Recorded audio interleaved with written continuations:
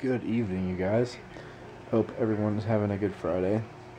And uh, just sitting here, I'm about to eat some dinner. Playing some Dota earlier today. Uh, I am freaking tired. I don't know why. I just sat down and just hit me like a ton of bricks. I'm just exhausted.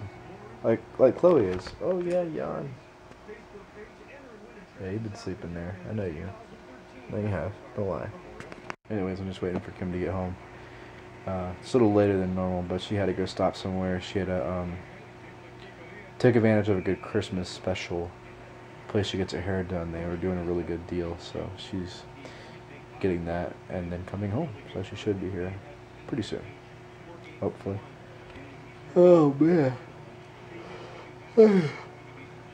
I am lit tired. Need to uh, have it have an eight hour nap. If you know what I mean. Like go to sleep. Yeah, that's what I that's what I feel like doing. Definitely can't do that yet. Cause I, if I go to sleep now, I will be awake in three or four hours. But yeah, I'm tired. That's that's what's exciting right now. Right, Chloe?